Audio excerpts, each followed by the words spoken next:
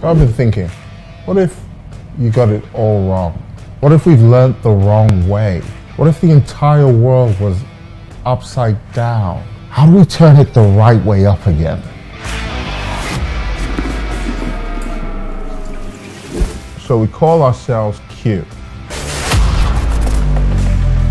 The Q is out there watching me right now. And these are people who are here to break the status quo.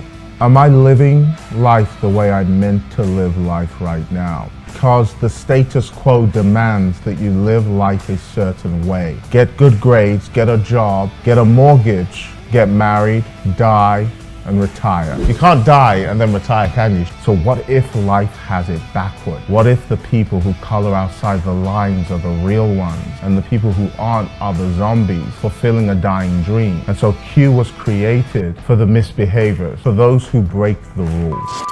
At its height, Q stands for quotient. We divided our organization into three parts that ultimately mean prosperity. Wealth, health, and lifestyle. Each one of these is a game, total market space of various games that you can plug into that suit you. You will win the game that you were created for.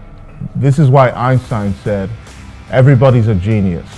But if you judge a fish by its ability to climb a tree, even the fish will believe it's stupid. We simply want to unlock the genius in each individual by making sure that they get into the game that they were made for. So get in the queue.